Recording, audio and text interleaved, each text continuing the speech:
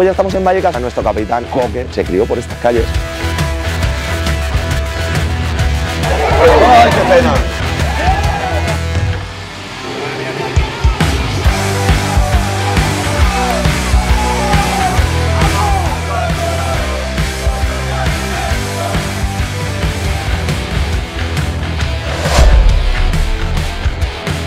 Bueno chicos, hoy viaje, entre comillas, facilito, no hay trenes, no hay aviones, no hay trayectos largos, Tampoco va a haber house tour.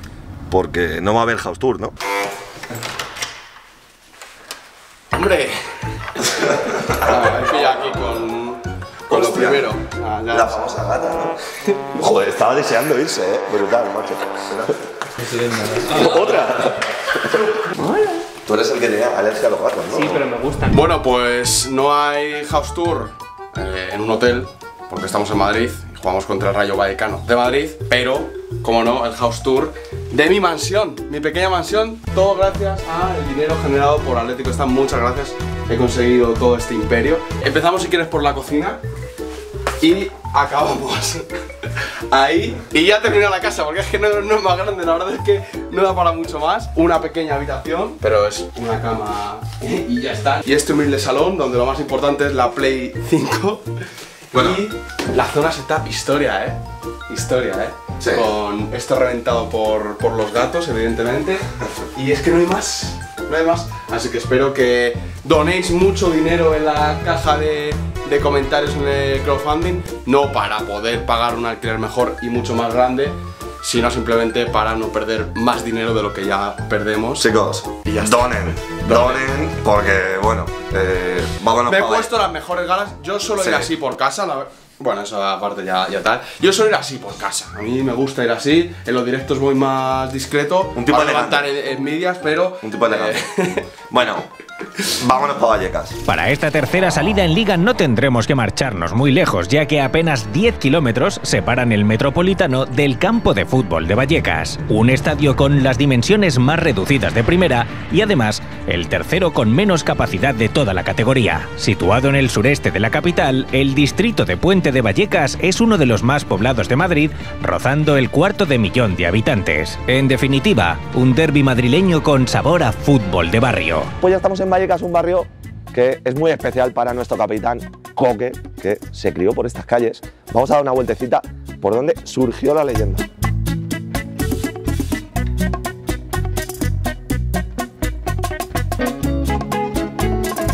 Nos han chivado que por aquí dio sus primeras pataditas al balón Coque. Me lo imagino así, con su camisetita de Atleti, con su balón, dando patadas aquí en este parque tan chulo de Vallecas. Vamos a otro lado, que sé que ahí seguro que estuvo jugando con su hermano Borja y toda la gente aquí del barrio.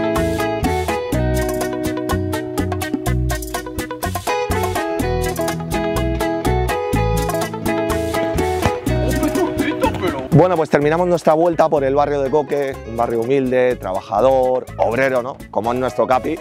Y lo terminamos, ¿cómo no? Aquí pisando el campo, las canchas, las pistas, donde empezó a dar sus primeras pataditas al balón y sus primeros partidos ahí siempre con gente mayor que él, destacando. Y de aquí al Atleti, porque no jugó en ningún equipo de Vallecas directamente a su Atleti desde bien pequeñito. Oye, día de partido y no hemos visto ni una sola camiseta del Atleti en todo el barrio. Esto no puede ser. Esto tampoco lleva. Lo lleva. Pues acabamos aquí por Vallecas y nos vamos a ir a una zona muy cercana de aquí donde tenemos el futuro de la medular de Atleti. Bueno, pues estamos aquí en el mítico campo del Urbis en Moratalaz y diréis, ¿qué hacemos aquí? En la casa donde empezó a crecer futbolísticamente Pablo Barrios, el heredero, el compañero de medio centro de nuestro querido Coque. Jugó aquí sus primeros partidos en el Moratalaz. Hemos estado en la casa de Coque, estamos a apenas 8 kilómetros de diferencia de donde jugaba Coque a donde jugaba Barrios. Hemos visto el presente, el futuro de Atleti, pero vamos al futuro más reciente, nos vamos ya para Vallecas, que queda ya poquito para el partido. Bueno, vamos a dar más vueltas que, que- que en un on tour. Hay que abrir un melón. Yo ya soy talismán. Ahora es el típico momento que Oscar eh, de repente mete, ¿no? Eh, imagen. ¿Quiénes estuvimos? ¿Cómo sabía? Levanta la mano Oscar también. Ahí, ¿eh? Hay una persona aquí que no estuvo en Bilbao. Así es. Eduardo, ahora toda la presión sobre ti. Vallecas es un campo difícil, por favor ya. Está cagado y todavía quedan unas cuantas horas para el partido. Aquí hacía botellones.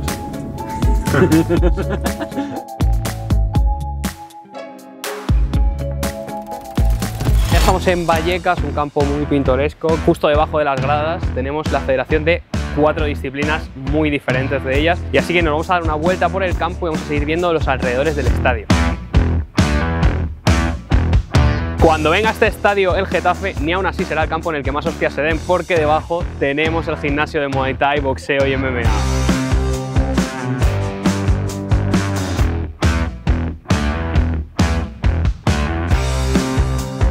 Seguimos dando la vuelta y hemos llegado a la tienda del Rayo que, bueno, un poco de aquella manera, ¿no?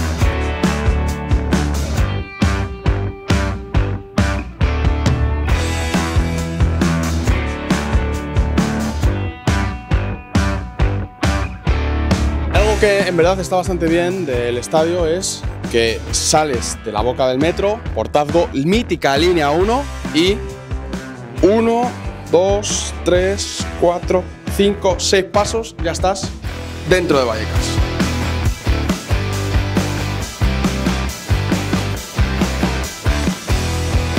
Y ojo que desde aquí, desde este edificio, se puede ver los partidos del Rayo perfectamente.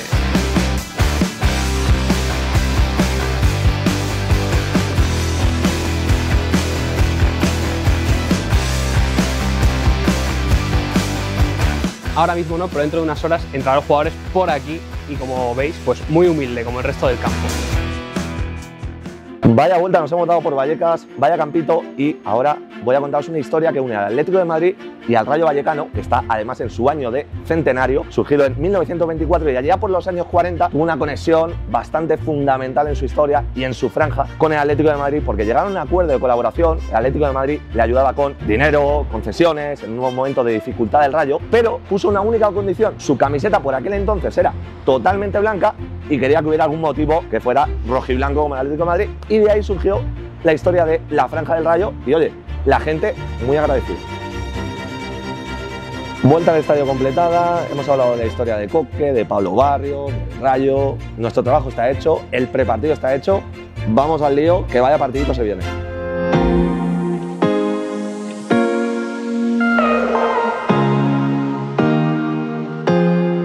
Bueno, ya estamos aquí por Vallecas, queda muy poquito, menos de dos horas para el partido y nos merecemos ¿no? un poco de chinchín. A ver. ¡Ah! Difícil el chinchín. complica, ¿eh? Y si en Bilbao hicimos la prueba de la croqueta, yo solo vengo a los on tour para comer croquetas. La calidad va a ser distinta, pero Bueno, oye, a ver, es una croqueta que para empapar está muy bien. Y uno que está muy empapado de fútbol acaba de llegar y que se suma a un tour, nuestro gran amigo Alex. ¿Qué tal, Alex? Vamos a tope. Bilbao, Uno de uno. Victoria, ¿ahora qué? Uno de uno y hoy dos de dos. Con Conor Gallagher a muerte. Del lo, lo, lo, lo. Está bien, está bien. Conor Gallagher. lo, lo, lo, lo, lo, lo.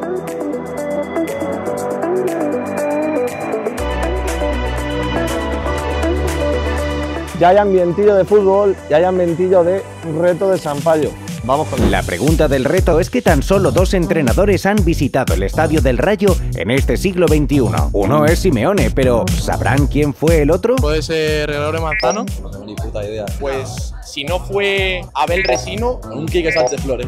sería, sería Manzano. Mal, fatal. Pues Quique Sánchez Flores, imagino, puede ser. Ni idea. Gregorio Manzano, creo. Más antiguo todavía. Menotti.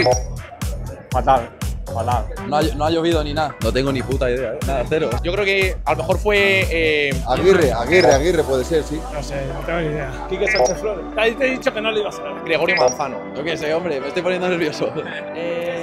Luis Aragonés. He visto a la gente muy perdida, como siempre.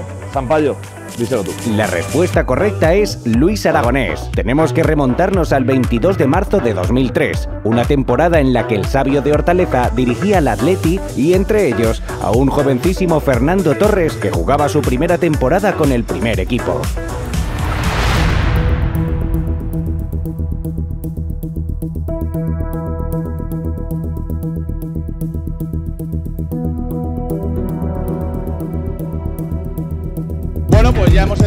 Al estadio de Vallecas. Eh, creo que es el primer estadio donde hemos tenido que dar pasos y no subir escaleras. de ahí ¿eh? se agradece, porque no acabamos aficionados como en Villarreal o en Samamés. De ahí a aquí, que ya está el, el estadio con la gente de Atleti. No hay muchos, pero seguro que apretaremos. Marco, arquitectura barra baja stats, como siempre. Cuéntame un poquito sobre esta edificación que nueva no es. Mola mucho que el estadio esté aquí en pleno barrio, en la Avenida Albufera. Estoy viendo un murciélago. Pero es cierto que se nota que es un estadio que necesita su reforma, pero mola mucho que esté aquí en Vallecas. Tiene así que su, tiene ¿no? su Tiene cari- magia. tiene carisma, ¿no? Tiene carisma, aura. Así que Aura. que se quede aquí como pide la afición del Rayo, que mola.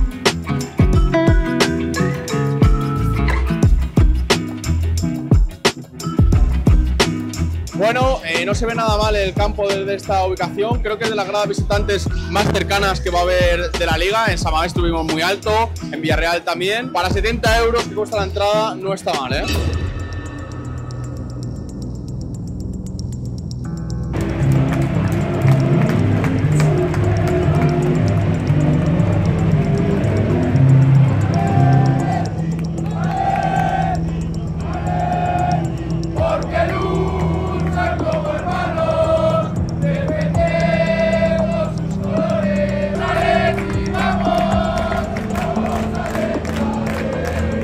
Minutos, ya ha tenido una clara Atleti. El ambiente es un poco frío, pero ahí vamos, 0-0, ¿eh? Media hora de partido, poquita intensidad, faltan piernas hoy, ha habido rotaciones, pero se está notando la Champions de momento. Ataca el rayo. Fuera de juego, gol anulado al Rayo, ocasión clarísima. Ha marcado Isi un balón que ya iba dentro.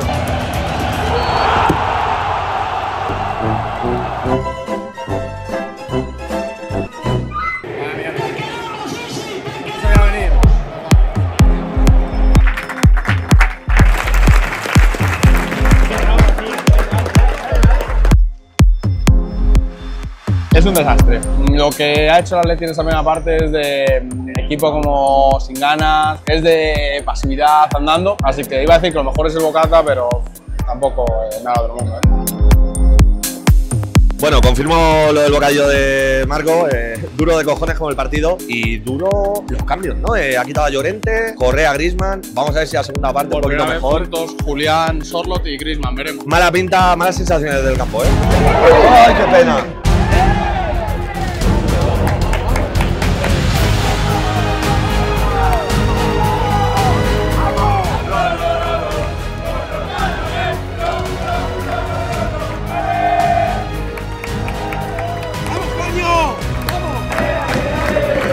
Qué momento, qué momento, vaya carrera de Sorlov, golito de Gallagher, ha sonado la canción, mejores sensaciones, pero uf.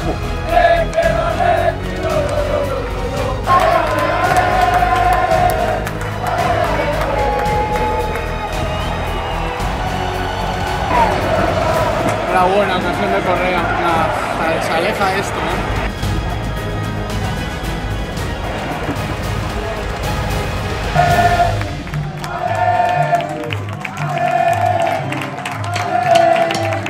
Partido, chicos, no ha podido haber suerte de ganar eh, Marco. eh, empatito y, y gracias, ojo apático, ¿no? Muy, muy Villarreal, ¿no? El partido de hoy, pero bueno. Nos vemos la semana que viene en Vigo y esperemos que con mejor suerte. 19 de 19. ¿Tú sabes lo que es eso? ¿Tú sabes el trabajo que tiene y todo el contenido que os vamos a traer? En la caja de comentarios tenéis un link para apoyar un poquito el proyecto. Échale un ojo. Si te interesa, pues oye,